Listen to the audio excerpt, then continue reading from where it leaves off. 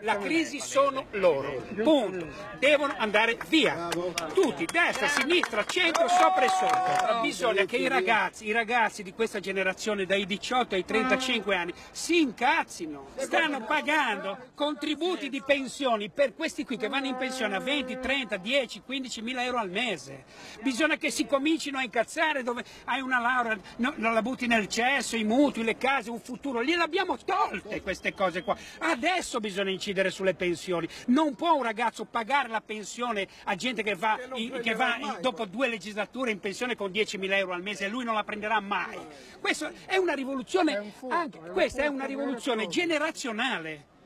Siamo falliti, siamo falliti. noi ma è fallita l'Europa, sta fallendo la Germania dal punto di vista del principio del, dell'euro, del, della solidarietà, del, della filosofia, della cultura europea, è solo una valuta, sono solo banche e adesso si stanno preparando. In Italia chi?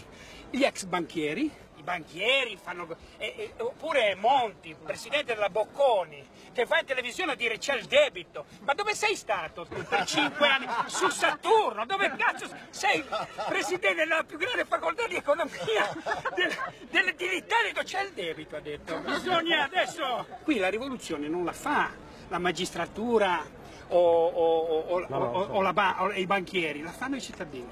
Però è molto che lo dici, in realtà questo non eh. si è mai verificato ancora. È molto, sono due anni. Non mi Vabbè, due anni. Eh beh, c'è gente che ripete la stessa cosa da 40. Ad esempio... Eh, se mi dici, eh, cazzo, ragazzi, eh, io, adesso quando, non so, gli ospedali non potranno più pagare alle case farmaceutiche i, far, i farmaci salvavita negli ospedali, chiudono. Quando le scuole non potranno più permettersi, li privatizza, stiamo andando verso questo sogno della, della scomparsa del welfare, che è la più grande coglionata del mondo, perché il welfare è un linguaggio.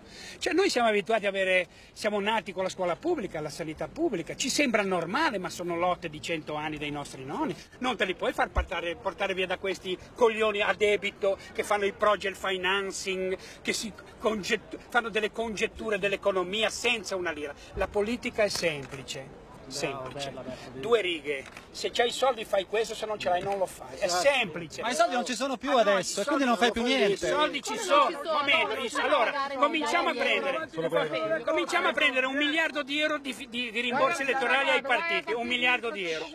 Cominciamo a prendere un altro miliardo di euro ai finanziamenti al tuo giornale, ai giornali, non so di che giornale, all'editoria. Un miliardo di euro. Sono due miliardi perché non ci sono. Abbiamo, invece troviamo i soldi a debito per la TAV, per il ponte, per queste strutture che non servono a niente, prendiamo i soldi della TAV e li investiamo in cultura, nella scuola, nell'università e nella ricerca. 22 miliardi, li hanno trovati per fare un cazzo di buco che non serve a nessuno?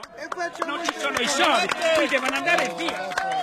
Qui è finita un'epoca, è quella del debito, cioè il debito del mondo, non nostro.